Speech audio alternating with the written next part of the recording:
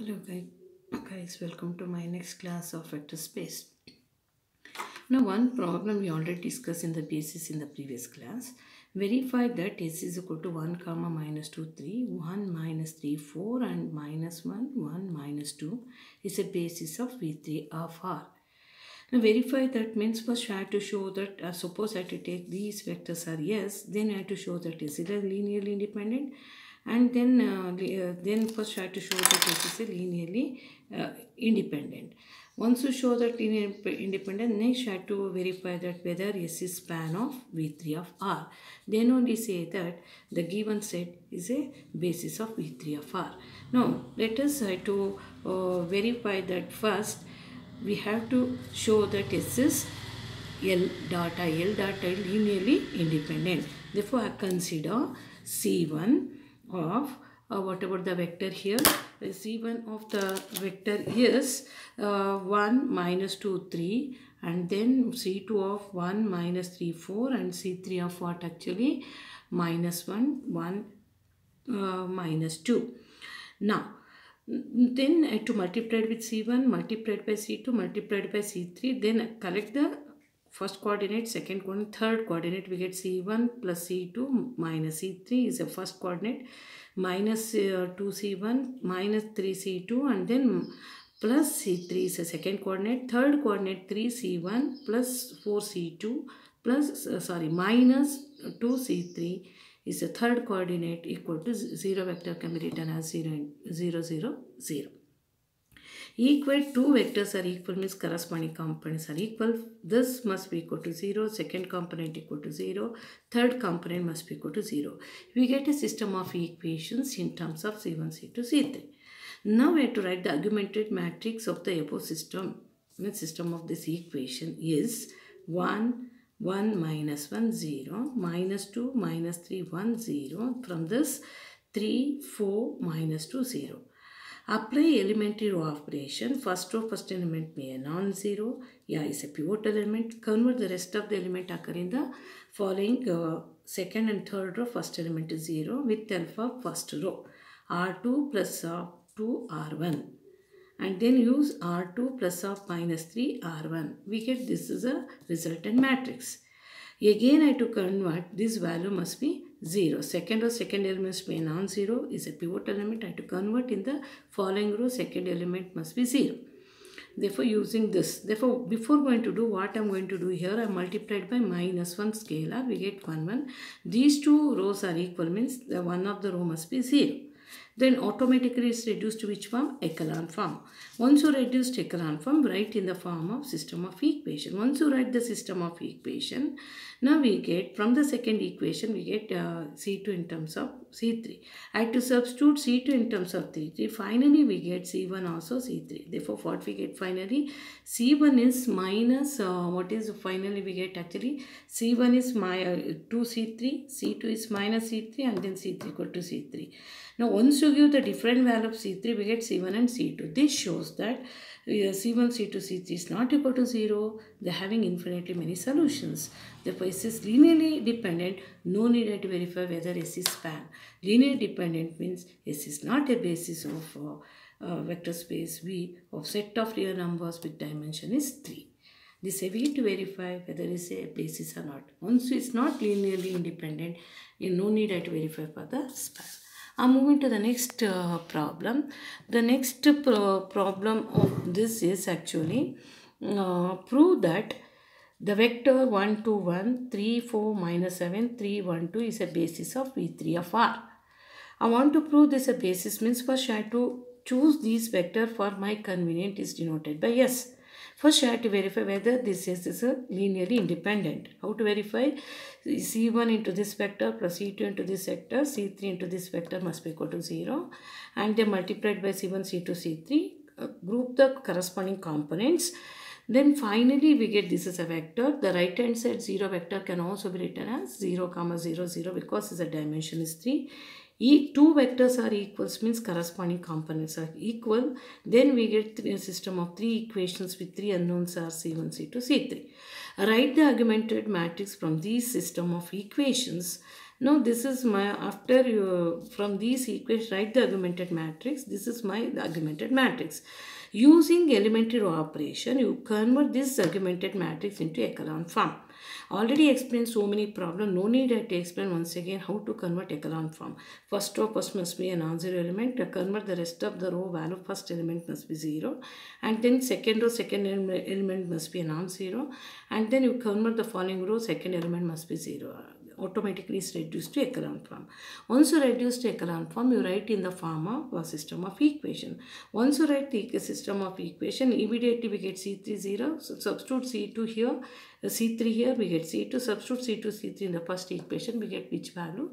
C1 value. Clearly C1, C2, C3 are 0. Therefore, S is linearly independent.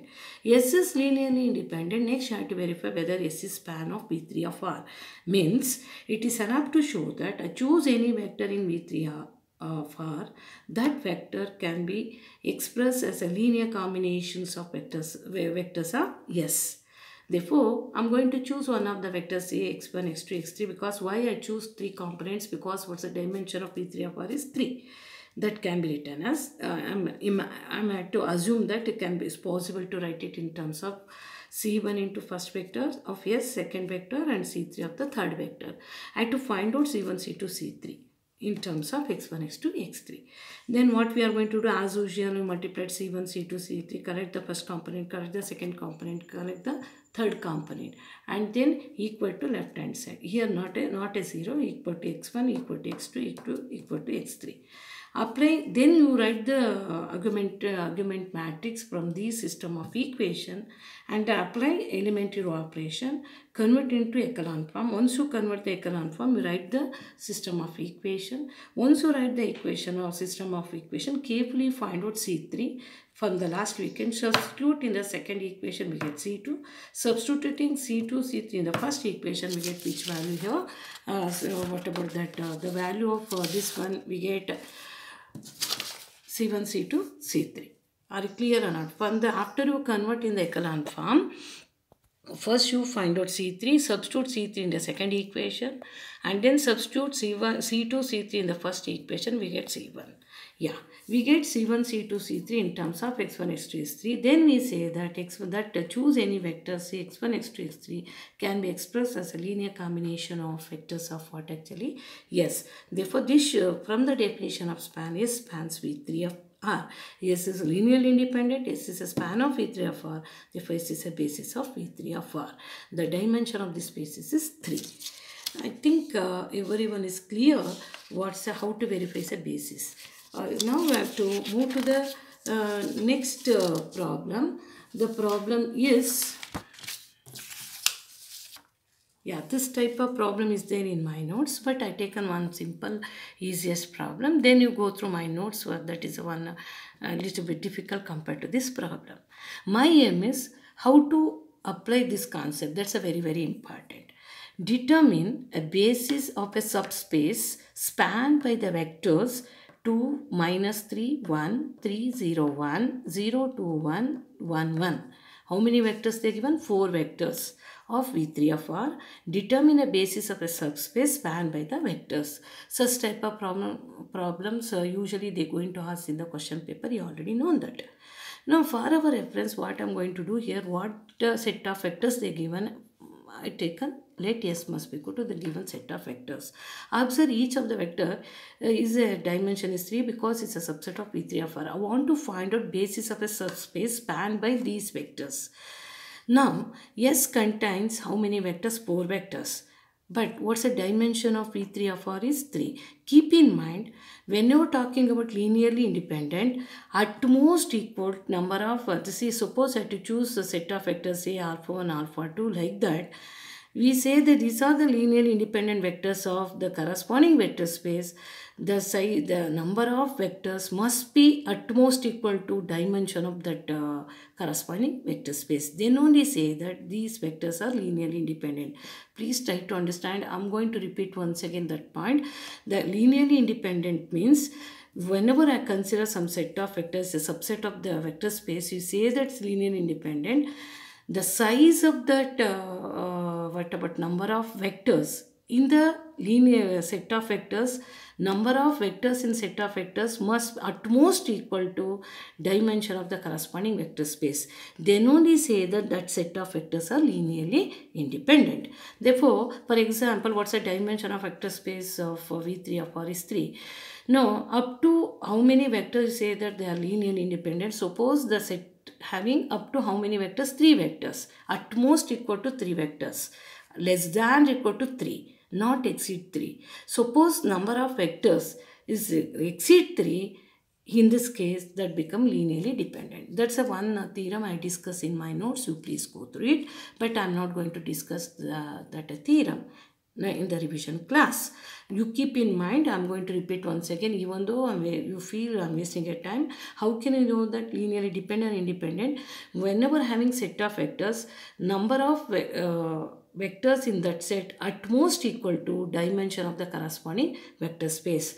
Then only say that the, these vectors are linearly independent. But here what happen is having how many vectors? 4 vectors. But what's the dimension of vector space here? 3. Therefore number of vectors is more, more than exceed the dimension of uh, vector space. Therefore these vectors are linearly dependent. Then I to find out a subset. How to find out the subset? You take these vectors in the form of row wise. Using elementary row operation, by using elementary row operation, observe carefully, I, I interchange for fourth row and first row because instead of uh, 2, they're having one easy to do the further calculation. What I did, I had to interchange these two rows, R1 and R4. After interchange, by using elementary row operation, you can, uh, from the elementary row operation, what I, uh, what I did from the elementary uh, row operation for this, from the elementary row, please try to understand from by using elementary operation.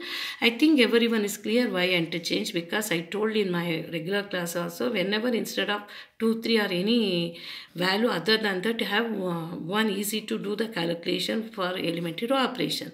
Therefore, for our my convenient, I interchange first row with fourth row. After that, by using elementary row operation, I convert into which form?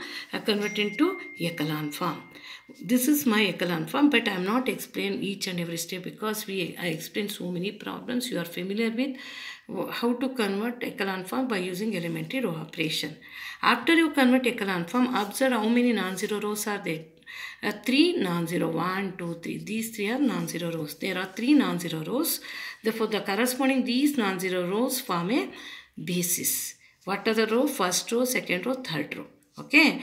Uh, corresponding vectors are form a basis. Keep in mind, we are interchanged. Therefore, we can't take first vector of the yes. I we have to interchange. This is my, while applying, before going to applying elementary operation, I interchange fourth vector comes first place, first vector comes in fourth place. 3 non-zero means V1 is 1, 1, V2 is 3, 0, 1, what is V3? 0, 2, 1. Yeah. These are the form, these are the sub, uh, subset, sub, uh, subspace of the given yes. Yes. And then uh, they form a basis of the subspace spanned by yes. Such type of problem only I consider one problem in my notes. What's the dimension of this subspace is 3. Now if we want to repeat once again before I'm wind up in this uh, problem, now first I have to take S. S having uh, 4 uh, vectors but keep in mind these vectors are linearly independent for the vector space. The condition is number of vectors in S at most equal to uh, dimension of the corresponding vector space. What's the dimension of corresponding vector space is 3 but it's exceeds therefore these vectors are linearly dependent. These vectors are linearly independent means S is not a form a basis of V3 of R. Therefore, we have to find out a subset or subspace. How to find out? You take these vectors in the row wise and then before uh, by using elementary operation by using elementary operation first I have to interchange fourth vector comes in first sector uh, first vector comes in fourth vector place. Apply elementary operation finally it's reduced to echelon form. After you reduce to echelon form observe how many non-zero first row second row third row. You pick these vectors in yes in yes form a subspace. What are the vectors? 1 comma 1 comma I think y you had 23 comma 0 1 and 0 comma 2 1 form a basis of a subspace spanned by yes. What's the dimension of these uh, uh, what about subspaces? 3. This is a way to find out dimension and basis of a subspace spanned by the corresponding vector. I think is clear because usually they're going to ask one question based on that. Now what, what uh, the please go through that. Suppose you are not clear clear to understand you please inform through whatsapp. Definitely i'm going to repeat once again. Thank you very much. Next class is the last class for. I'm going to explain for uh, coordinates. Once you complete coordinates i'm going to wind up vector space solution class. Thank you